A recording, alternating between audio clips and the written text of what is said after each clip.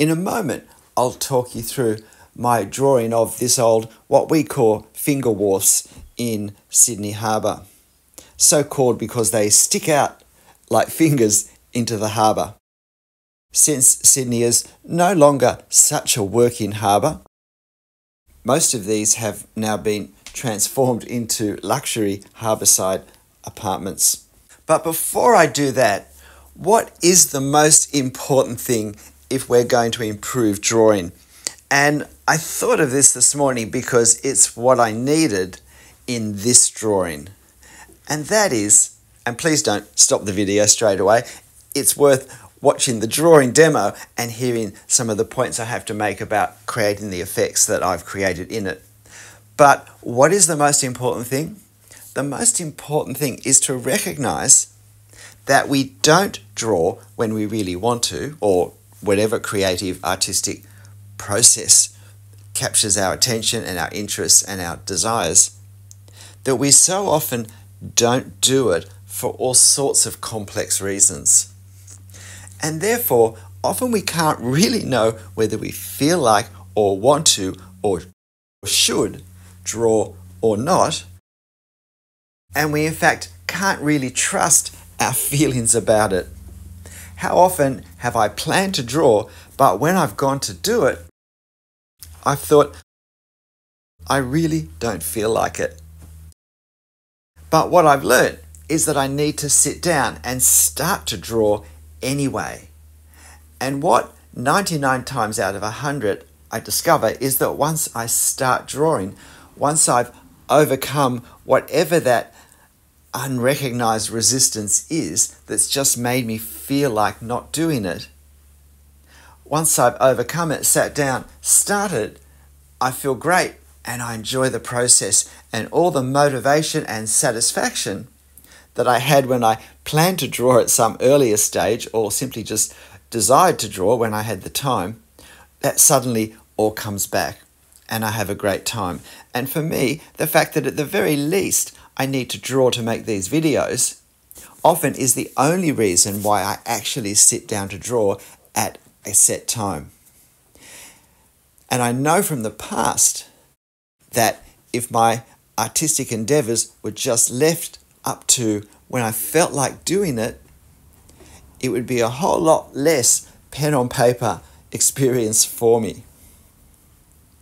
And I think it was about when I was at this stage of the drawing that I suddenly thought, I'm not tired, I'm not whatever, this is great.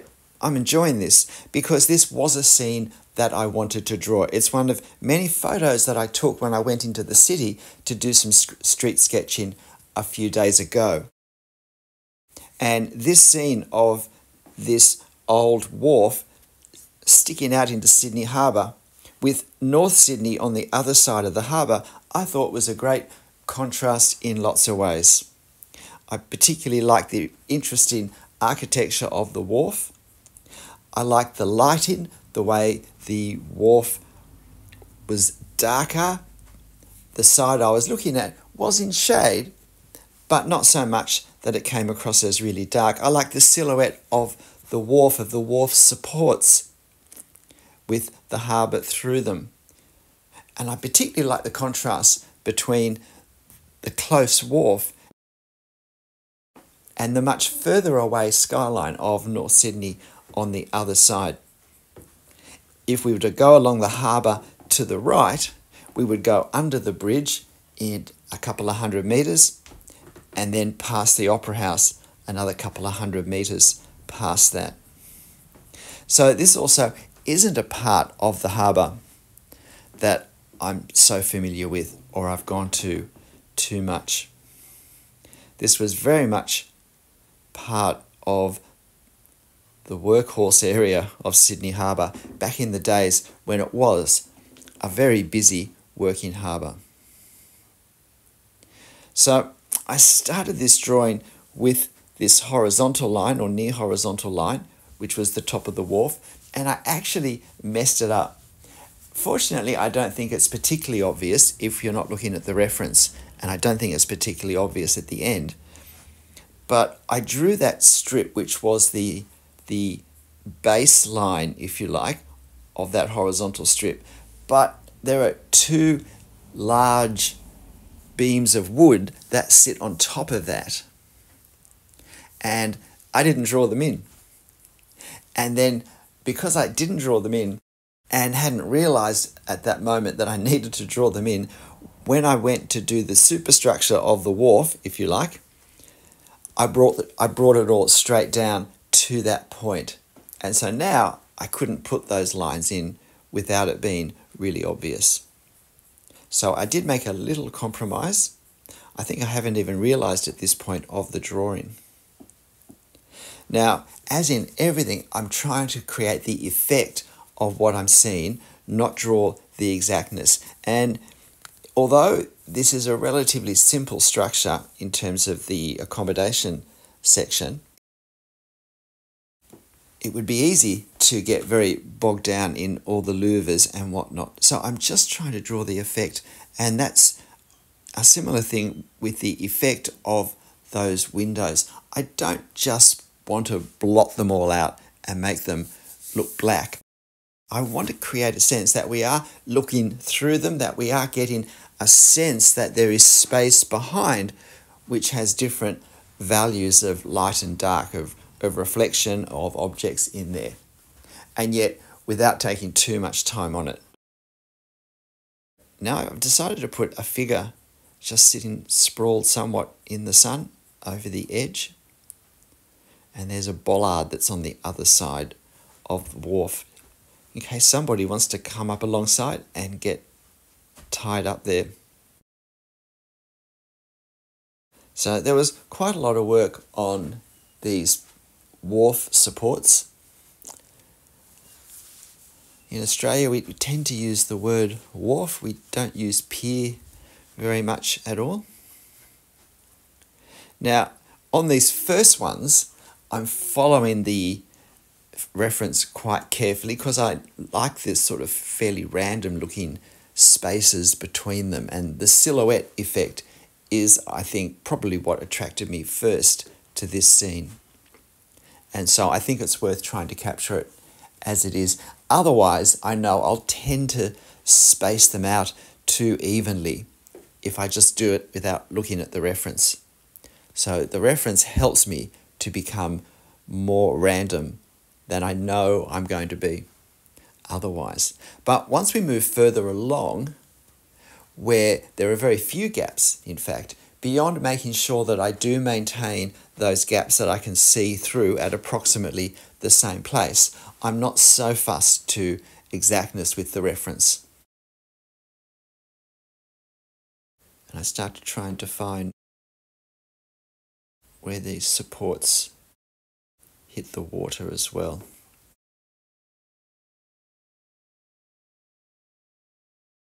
Now, I think this is a scene where it's important to get fairly dark values in certain parts of it, dark values for the silhouettes of the wharf supports, dark values for the water that's got shadow being cast on it from the wharf. And dark values for various parts of the apartments on top. Just looking at this now, I think, yes, my, my perspective angle for the baseline of the roof is not angled enough. It's too horizontal. It should just be pushed up another maybe three millimeters, I think would have worked nicely. And the appearance is made worse by the fact that I've lifted the top line of the roof too high. In my defense, I have to say, I am feeling a little bit ordinary this morning. I, I could have a touch of something. And I guess that just discouraged me from putting the extra effort into observing my reference as carefully as I probably normally would, which does go just to remind me of the fact that good observation, carefully observing our reference, is actually hard work and it does take effort. And therefore, we should be prepared for that and be prepared to put it in. And it is the sort of thing that we start to neglect if we feel rushed or tired or whatever, distracted.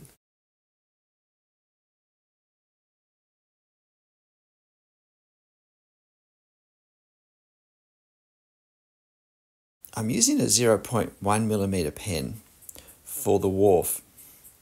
And the odd thing I've done now is for the far side of the harbour, I'm actually switching pens, but I'm not going to a 0.05. I find them really quite scratchy. I feel like I'm trying to draw with a needle rather than a pen with anything thinner than a 0.01 millimeter pen. But what I've done is I've actually picked up a 0.3 millimeter pen to draw the far side of the harbour. Now, this is a bit unusual because normally I would use a finer pen to draw a more distant object.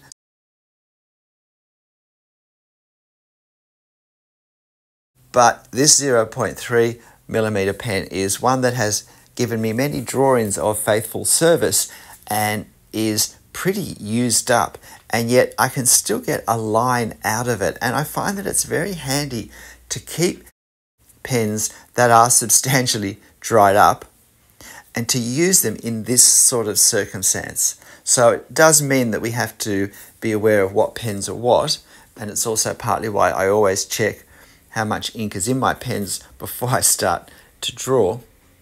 But I find that this mostly dried up 0.3 millimeter pen gives just the amount of faintness that I want in my line to create the far side of Sydney Harbour, the north shore of Sydney Harbour. And I know that if I were to use my 0.1 millimeter pen for this, even just trying to draw it lightly because it's a new pen and it's full of ink and it's releasing a lot of ink at the moment, that I will still get a heavier line than I want. Or if I try to use it lightly, it may blotch a little bit if I rest for too long in the one spot. So these skyscrapers on the far side of the harbour are also, of course, a great contrast in architecture and styling and simplicity to the wharf structure that I've already drawn. So that also makes them a nice important part of the scene. While I don't particularly enjoy drawing skyscrapers, these are far away enough that I really just have to suggest them. And if you're interested, this drawing took me just under an hour to draw in real time. And if you'd like to have a go drawing it, you'll find this reference photo on my channel community page. So why not give it a go yourself? But again, there is a difference between the buildings down on the harbour, which are therefore significantly closer, and the ones that are furthest back, which are probably twice the distance from us as those those older buildings actually on the waterfront. And so there is a bit of a different feel in how I draw those. So now take away the tape and it's all done. G'day, I'm Stephen Travers. Look, please let me encourage you. Don't let the fact that I don't feel like drawing right now put you off starting. It's always worth starting. And if in 5, 10, or 15 minutes you want to stop, you can. But I reckon 9 times out of 10, you'll discover that you really do have the energy and passion for continuing your drawing. But look, whatever you draw and however you draw it, make sure you have fun. I'll see you next time. Bye.